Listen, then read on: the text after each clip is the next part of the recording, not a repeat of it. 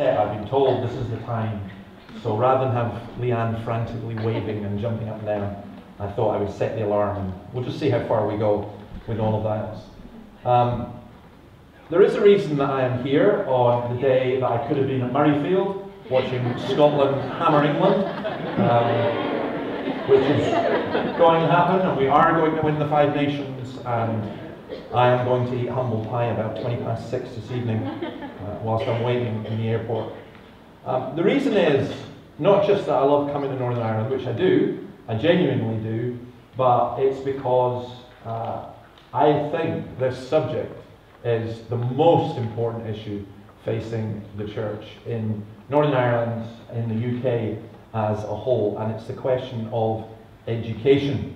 So much so that um, the magazine, I hadn't even realised we were giving it away free, but we apparently are, uh, which is great. Um, I, I, we, did a, we started a new print magazine about nine months ago, and uh, that sounds really daft. You can also get it as a PDF file as well. And the third edition, the latest edition, is just all about education. And there are two or three articles in there which are absolutely brilliant. I think the others are good, but there are two that are uh, outstanding. They will demand that you do a little bit of thinking, but you're all remarkably intelligent people, so that won't be a problem uh, for you. So you can get a copy of that at the door. But we thought the subject was so important that we also did a complete, devoted one of our conferences uh, to it. So, uh, I want to kind of think about this and encourage you to think about it. And I also want to offer uh, an apology right from the beginning. Um, if I say anything that offends you, tough. Uh, I, I, don't, honestly, I never ever set out to offend people. I just think out loud as I'm going on, which is a very dangerous thing to do. But um, it is, what I'm intending to do is to provoke and to help you think through some of these issues. So let me begin by uh, giving you the, this is the, the basic idea why this is so important. False ideas are the greatest obstacles to the reception of the gospel. We may preach with all the fervour of a reformer and yet succeed only in winning a straggler here and there.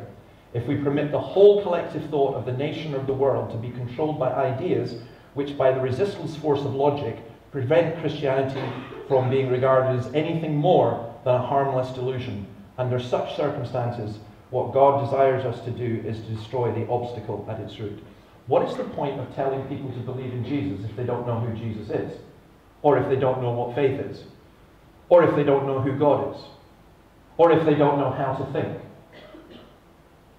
You know, it, it's an astonishing thing that at the time of the Reformation, education was considered to be absolutely essential.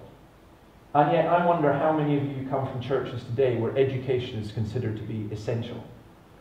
And yet, it is what our children are learning, what's being taught in our universities, which is proving fundamentally destructive to the Christian faith. I was in a school class of 13, 14 year olds just over a week ago. 20 how many of you, I explained to them what atheist was, agnostic was, theist was, Christian was? How many Christian? None. How many theists? One. How many agnostic? Three or four. Rest said they were atheists. Now, you'll forgive me saying this, but they couldn't think. They were dumbed down. They just kept chanting out mantras from the internet. There's no evidence, there's no evidence, Jesus didn't exist. There was, they were on their phones, they were rude, they were aggressive, you're going, okay, that's Scotland, what do you expect? Um, but that's actually what happens when you move away, I think, from a Christian philosophy of education. Now, that was in a working class environment. In middle class environments, you just get it in a slightly more sophisticated form. And I've seen that happen many, many times. There is a battle going on in our schools just now. Our militant secularists are, um, let me move this on, oops, sorry, back one.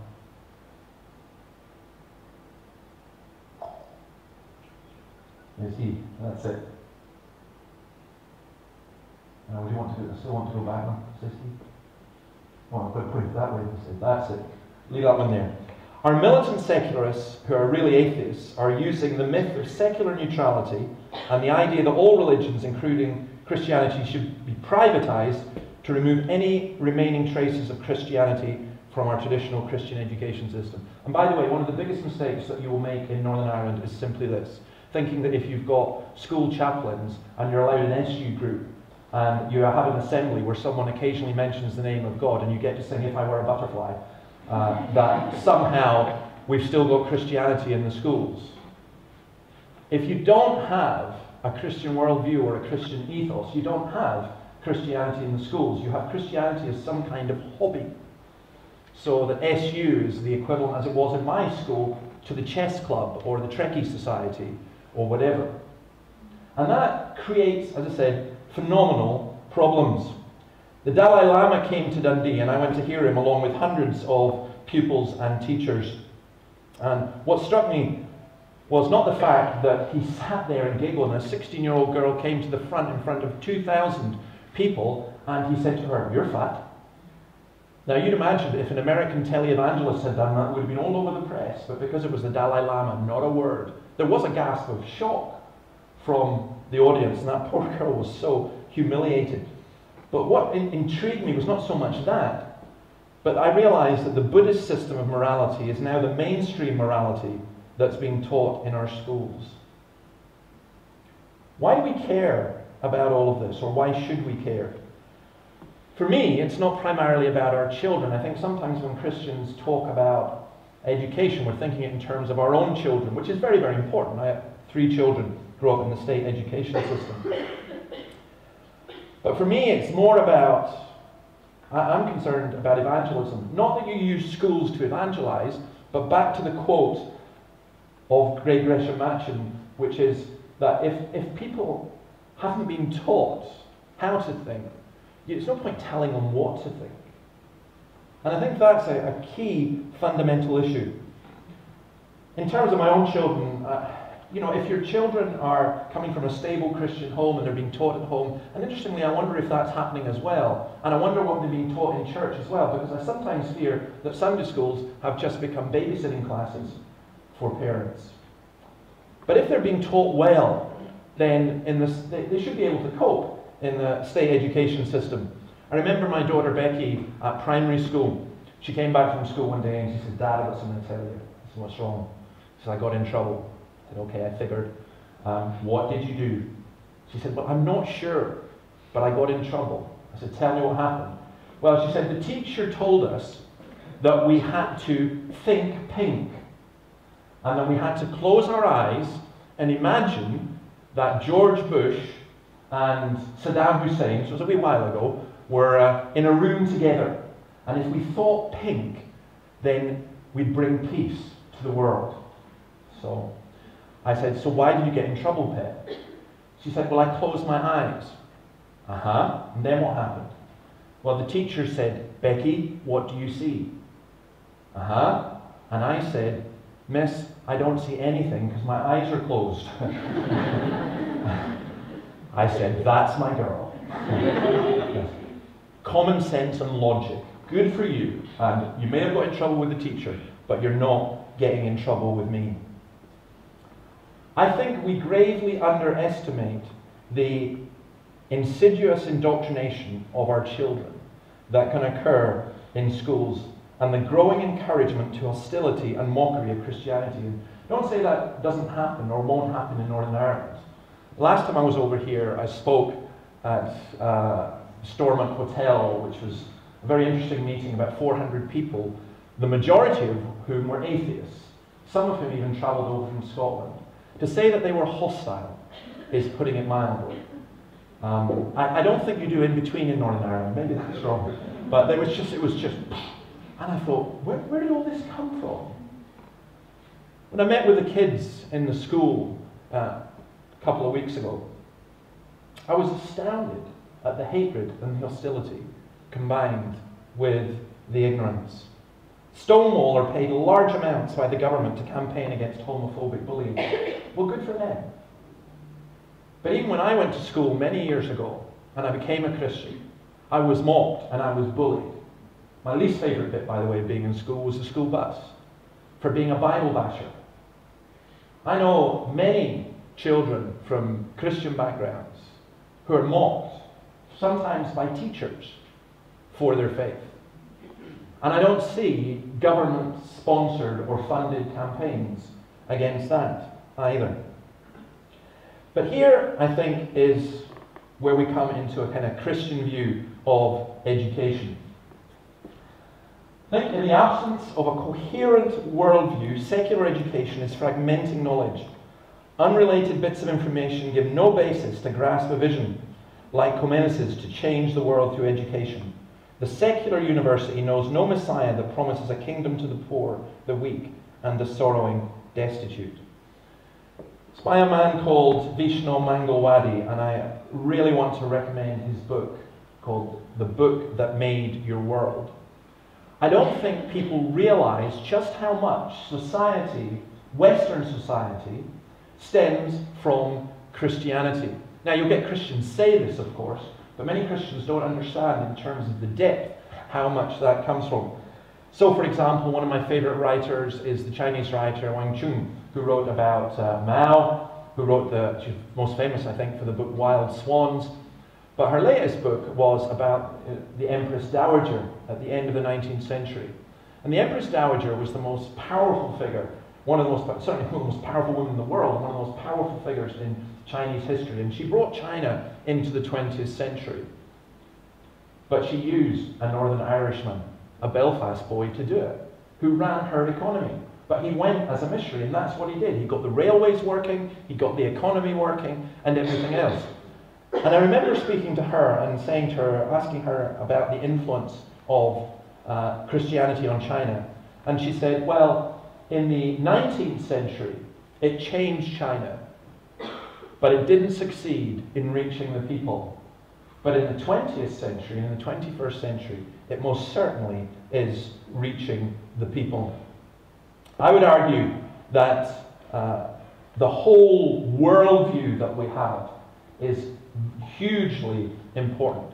And if we are concerned with people, then we want people to hear about Jesus and we want people to see the impact that that has on the whole of society. I'm going to give you an example of a man called Thomas Guthrie, who was a uh, Scottish Presbyterian minister. That means he was a real one. and, uh, and uh, but a fascinating character because from the 19th century, you see, there, there was never this dichotomy between helping the poor and preaching the gospel because they regarded them as the same. They didn't divide into social gospel and, all the rest of it.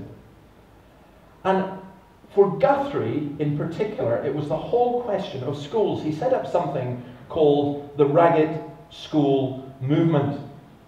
Because he would walk in the poorest areas of town and he would realize that education was the best way to help people get out of poverty. Now, one of the things that's happening in Britain, although we use the mantra all the time of equality and diversity, the fact is if you've got money, you make money. And if you've got money, you generally get a better education. You can either send your kids to a private school, or what you can do is pay 100,000 quid extra to buy a house in a good catchment area in some of our cities. And in a lot of our, uh, maybe this is not true for Northern Ireland, but it's certainly true for Scotland and much of England. In a, in a lot of our cities, kids are being brought up in sink housing estates, going to schools where teachers are just virtually babysitting, and they have got very little chance.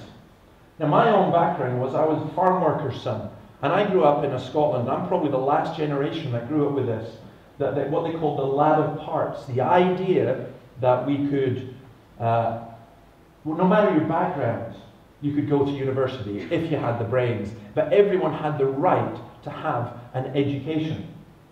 My concern with education at the moment is the secularist view is education is becoming more and more about social engineering and preparing people for certain jobs suited to their class, ability, or whatever, rather than it is education just for the sake of education. I went to university to study history. Why? Did I want to be a history teacher? No thanks. Did I want to have any job to do with history? No thank you. Why did I go to university? I wanted an education. I was a farm worker's son and I liked history. But it's, I rarely meet students nowadays. Why are you university? Because I want to become a Well, I understand that if you're a medic, you know, it's probably a good idea to become a doctor at the end of it. But just to get education for the sake of education, that whole idea seems ludicrous to people.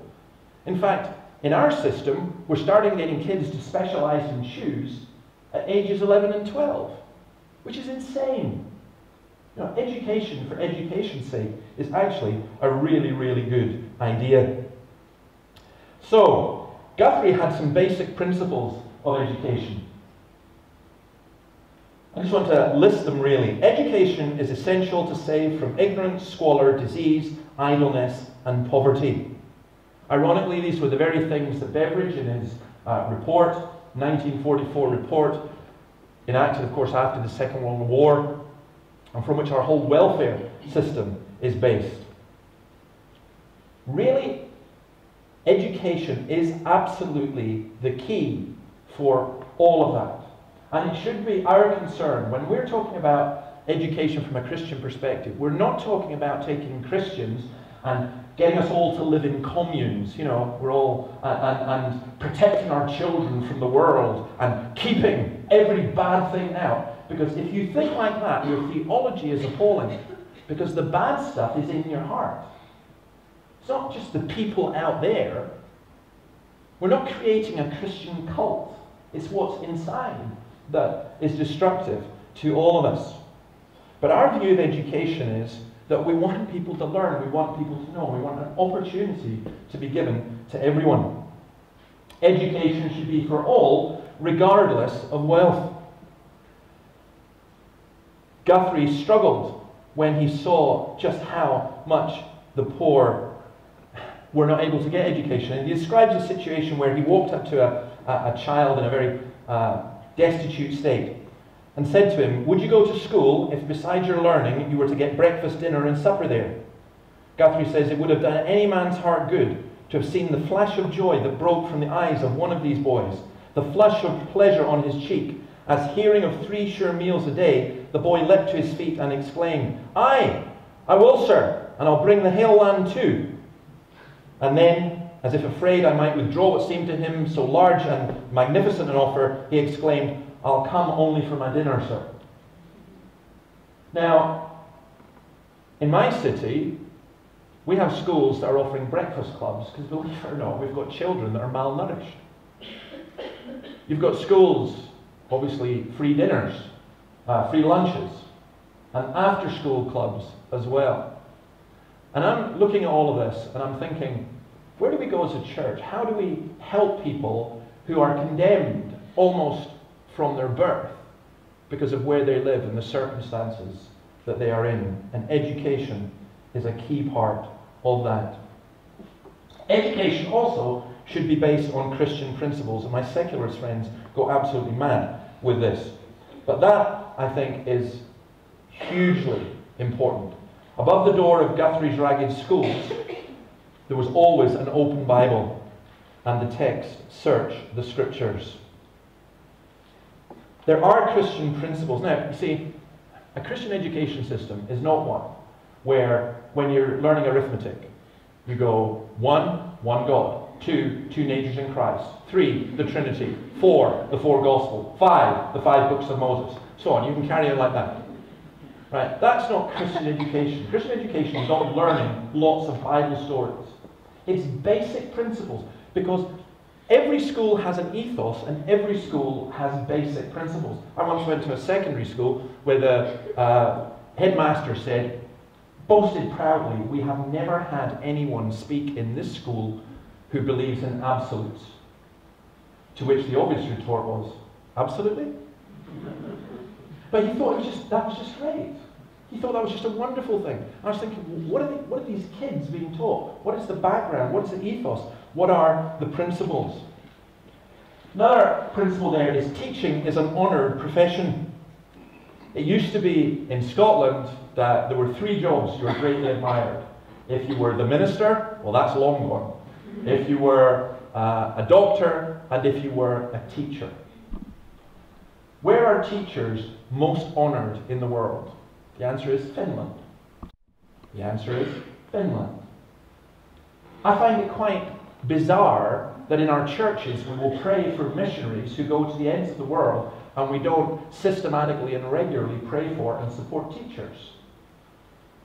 I think we should really need to encourage. I mean, I'm, I'm, quite intrigued that in my own congregation, we have anyone who's aged between 19 and 25 and they're female, if you go up to them and say, Excuse me, you're you from Northern Ireland and are you a medic? How did you know? Well, that's basically most of you.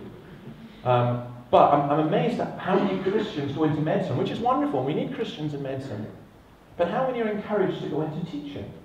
I think it's wonderful that people are, are called to be teachers. It's an honoured profession. Guthrie says this What I desire in all our officials is sincere piety, a warm Christian affection for the souls of these poor children, a mind which will not be content with a perfunctory discharge of duty, not even with remarkable success in the way of improving their intellects and reforming their outward habits, but a mind and soul which burns with love to Christ and will be satisfied with nothing short of seeing these children converted and saved. There will always be secular opposition to, as Guthrie said, to his ragged schools, but to any concept of Christian schooling. I think that is because people realize that if you remove Christianity from schools, then you're going to bring up an atheistic society. In the uh, article that I wrote in this magazine, there's a quote from A.A. Hodge, the former principal of Princeton Seminary, who says this The atheistic doctrine is gaining currency even among professed Christians and even among some bewildered Christian ministers that an education provided by the common government should be entirely emptied of all religious character. It is capable of exact demonstration that if every party in the state has the right of excluding from the public schools whatever he does not believe to be true, then he that believes most must give way to him that believes least. And then he that believes least must give way to him that believes absolutely nothing, no matter in how small a minority the atheists or the agnostics may be. It is self evident that on this scheme, if it is consistently and persistently carried out in all parts of the country, the United States system of national popular education will become the most efficient and widespread instrument for the propagation of atheism which the world has ever seen. My atheist friends say that atheism is just the belief that, not that, that just the belief that there is no God, but that we have to act like that until it's proven otherwise. If you run an education system like that, you're going to be bringing up children as atheists, with all the consequences that come from that. Christian education, as well, deserves uh, state support.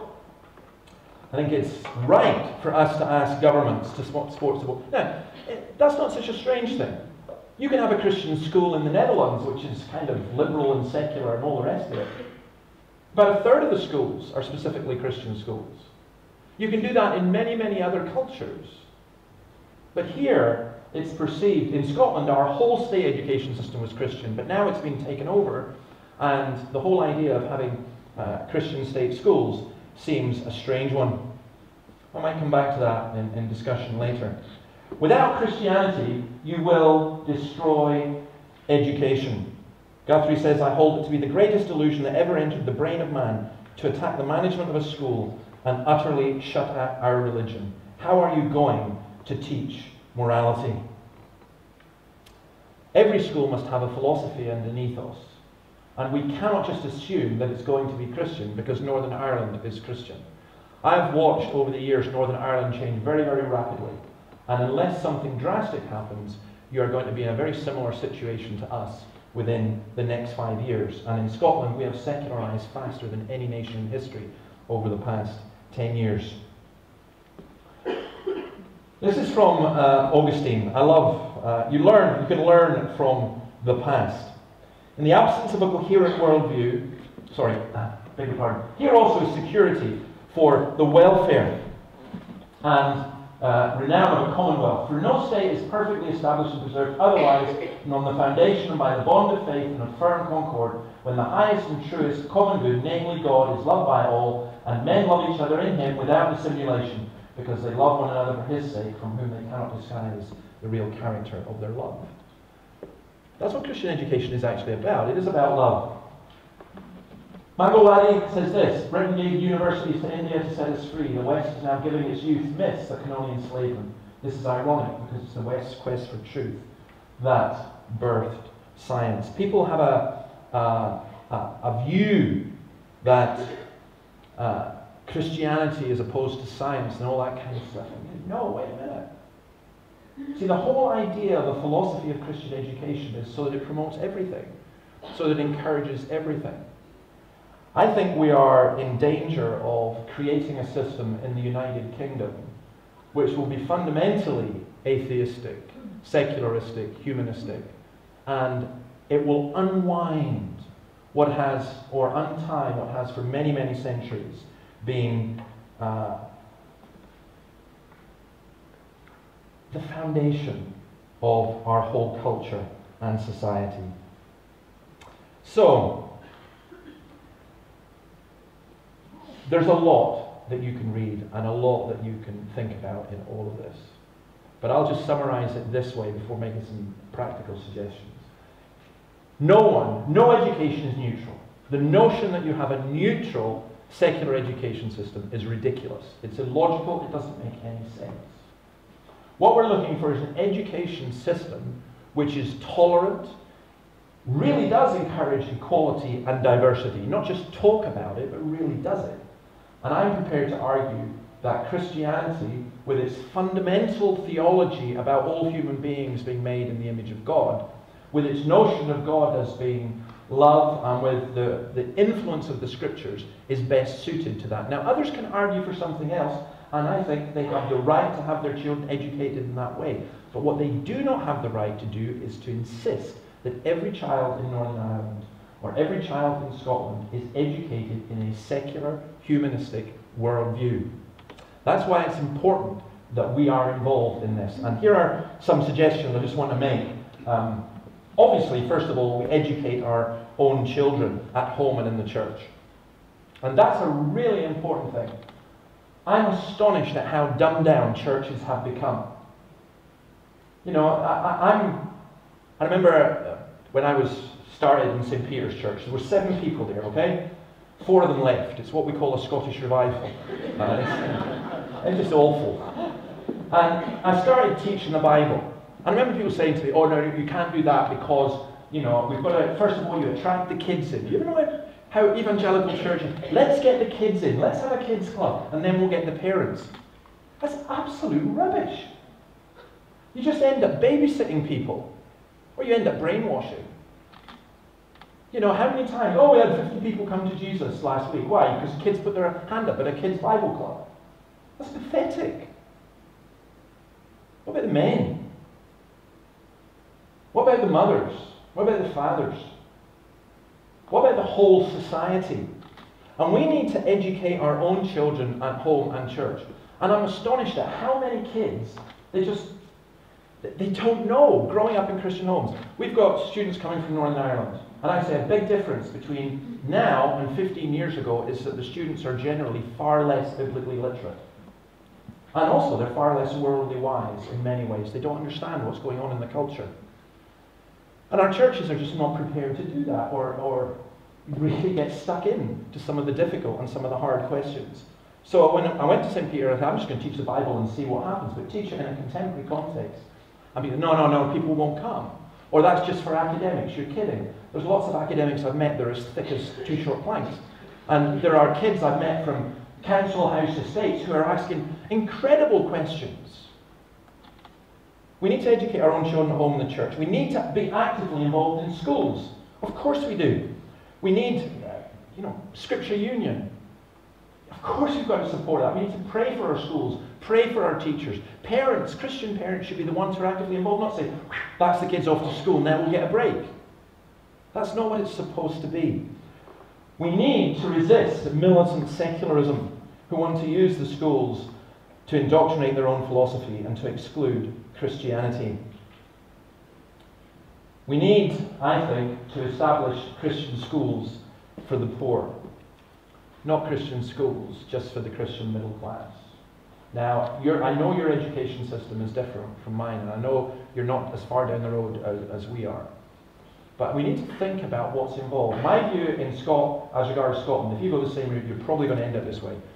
My view is that the state education system in Scotland is now broken and irredeemably broken. And we need, some, we need a complete revolution. We need something completely different.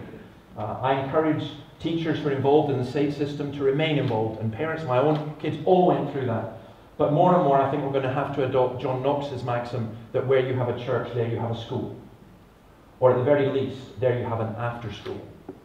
The Muslims in my town, their kids go to the state school, and then every day after school, they go for two hours for education at the mosque.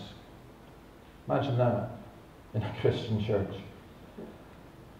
Why should children of wealthy parents be able to get tutors? Why don't churches offer them for free? We need, I think, um, I'm saying at Thomas Guthrie Foundation or something like that, we need, Christians need to put money in. Stop talking about things. Stop saying, oh yeah, go, we wish you well. Uh, if I had my way, I'd close half the churches in my denomination and uh, employ teachers. Maybe that's, maybe that's wrong. But we need to start thinking much more holistically and much bigger vision than we do at the moment. And we need, of course, to pray continually. Uh, I've suggested that already. Um, let me just finish by saying this. What does Jesus say? Oh, Jerusalem, Jerusalem, you who kill the prophets and stone those sent to you, how often I have longed to gather your children together as a hen gathers her chicks under their wings, but you were not willing. People were bringing little children to Jesus to have him touch them, but the disciples rebuked them. When Jesus saw this, he was indignant. He said to them, Let the little children come to me, and do not hinder them, for the kingdom of God belongs to such as these. I tell you the truth. Anyone who will not receive the kingdom of God like a little child will never enter it. And he took the children in his arms, put his hands on them, and blessed them. My city, which has a population of 150,000, the head of uh, child psychology, so my congregation, she told me that there are 1,500 children in care. And I said, that's a hot, dreadful number. And she said, yes, you're right. It is a dreadful number. It should actually be 3,000. But we can't afford it. We don't have homes for them. We don't have places to put them. It's 3,000 children in danger, so much in danger that they should be away from their natural parents. I did a kids club once where there were 20 kids, and 19 out of the 20, you couldn't say to them, go home to your mum and dad because they didn't have a mum and dad at home. Maybe had one parent, or who knows what. And I look at all the children, all that's involved, and I see the behavior. I'm going back to the school that I was in. And, you know, the language, the abuse, the stupidity, the dumbed downness, the, the hopelessness of it all. And it didn't make me feel angry at the kids. It made me feel angry at the culture which allows it and angry at the church, which doesn't seem to care about it.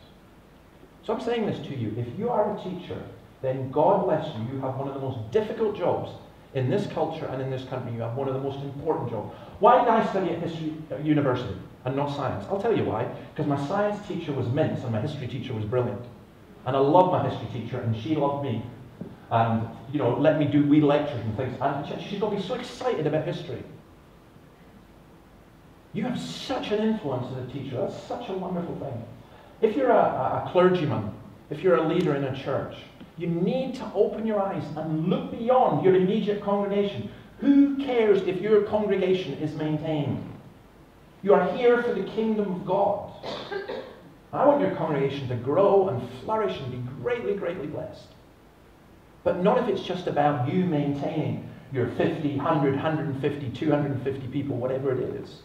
It's to be salt and light in the whole world. And if we as churches are not interested in the children around us, are not interested in the most important thing, which is education in a holistic Christian sense, then we do not deserve to be in the ministry and our churches deserve to die.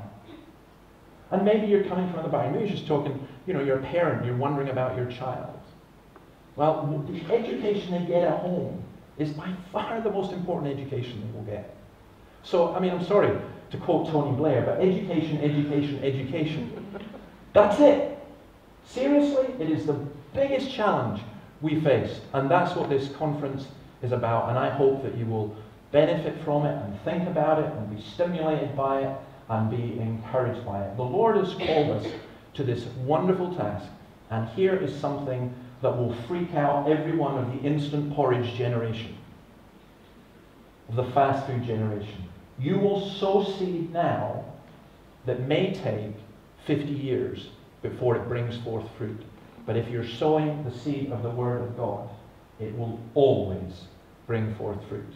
And in that, we should be encouraged. Thank you for your patience.